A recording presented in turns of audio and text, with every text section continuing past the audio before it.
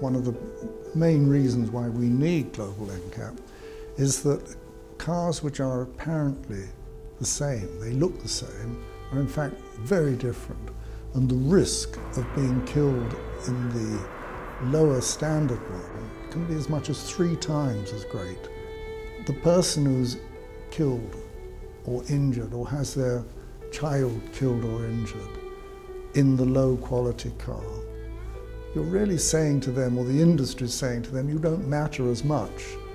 Now that's an outrageous thing to do.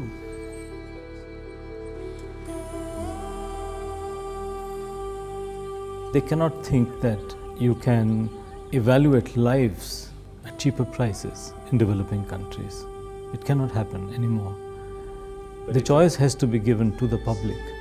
It is uh, a right of a citizen to understand and know which vehicles are safe and which vehicles are not safe and let the people decide. The fact that corners are being cut in a way that might really you know, devastate the life of a family and you know, the life of a human being is, is just shocking in this day and age. The sincere hope is that this test um, and the other tests really um, put safety firmly on the table as a priority. The idea that you can be in exactly the same crash and in one car you might survive and in another car you might die is just unthinkable. I think a lot of people are not really aware of that.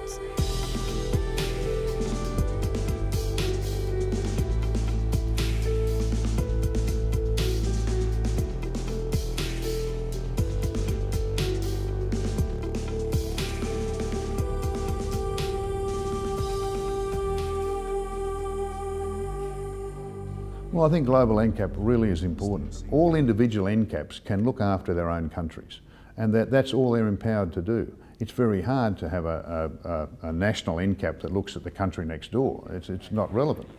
So Global NCAP has been able to, to reach out past the existing NCAPs into these new countries, to the Latin NCAP and ASEAN NCAP, and I think that's, that's the advantage of Global NCAP. And we've, we've thought about it for a long time. It's similar to IRAP. I think we should recognise the very, there's strong similarity. And we need the safer roads just as much as we need the safer cars and the safer drivers. We need the systems. The systems are important. Global NCAP in this decade of action is one really important part to bring that, that whole system together.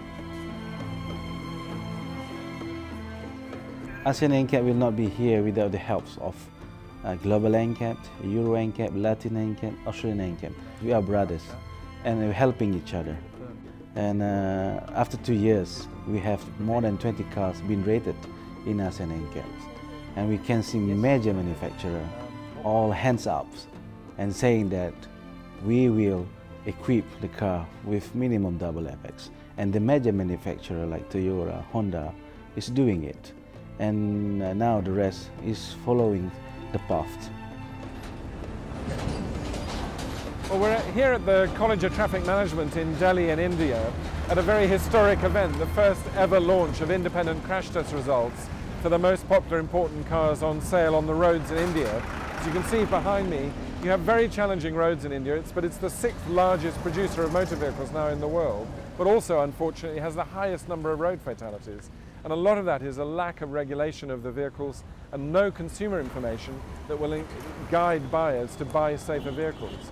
And for the first time ever, uh, Global NCAP has arranged for Indian cars to be crash tested so we can find out how safe are the vehicles on the, on the roads.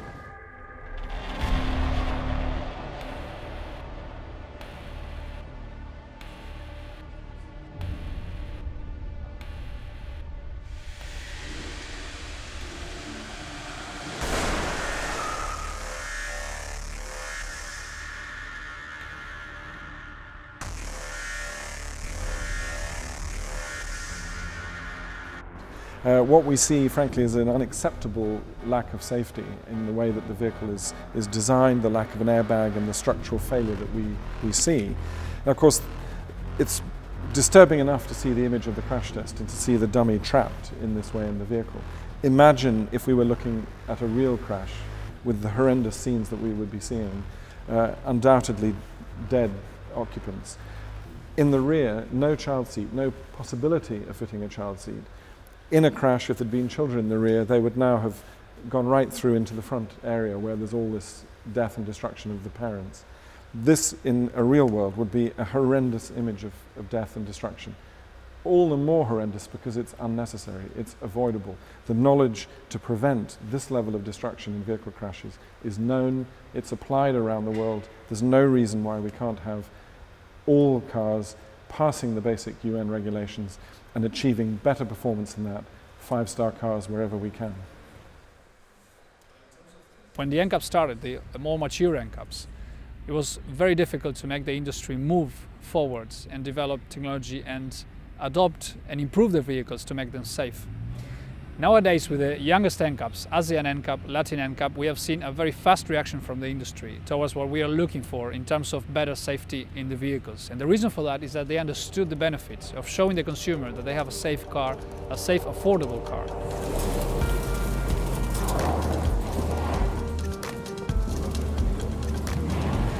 Well, I think in just two years, Global NCAP's sort of turbocharging vehicle safety, it's extremely exciting and, and rewarding to be part of this because here now in India, one manufacturer uh, decided to change their production, eliminate uh, a vehicle with no airbags, make it only available with airbags. That's an instant change. And we've been able to do a, a like-for-like -like comparison of a, uh, of a model who the, the basic body shell performs quite well, but with the addition of airbags, it jumps from zero stars to four stars.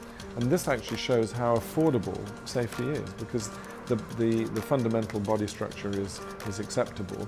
The addition of just a couple of airbags, which is probably less than $100 investment, transforms the car into a life-saving vehicle.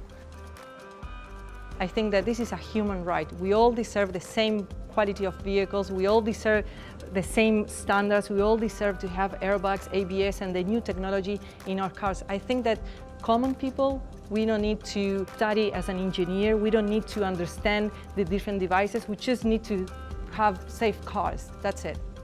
I think an extremely important point about vehicle safety is the role of fleets and fleet safety. Uh, whether it's companies or governments, they can give a very, very powerful signal to the marketplace and to the vehicle manufacturers by insisting on top quality vehicles and the launch of the Global NCAP is a great opportunity. So we've taken a decision as a corporation to, uh, to require all our light vehicles worldwide to be five-star NCAP compliant. We've given our contractors three years to join us. We are already seeing manufacturers changing the NCAP star rating of their vehicles in order to meet our new requirements, which is extraordinary. Being part of the global NCAP network is really critical for vehicle safety across the world and helping to establish the new NCAP programs is, is an excellent way for us to live and learn and grow our own program. The Australasian New Car Assessment Program, ANCAP, has been actively involved in providing technical advice, programming advice, consumer information advice. And uh, in that way we can uh, spread our experience and knowledge of the crash test program and the benefits of it to these other countries to protect the interests of their people and protect the safety and lives of their people. And Australia, of course, is in a key geographic position in the Asia-Pacific region. It's got the best road safety performance of any country in the region. It's one of the best in the world, in fact. But it, it has a natural leadership opportunity across the whole of the Asia-Pacific to show to so many countries that are tackling the challenge of rapid motorization and rising road injury how to deal with it. So I think Australia has a huge amount to offer as um, a best practice model for the whole of the Asia Pacific region. And in this decade of action, Australia really is, is one of the leading examples that we can see around the world.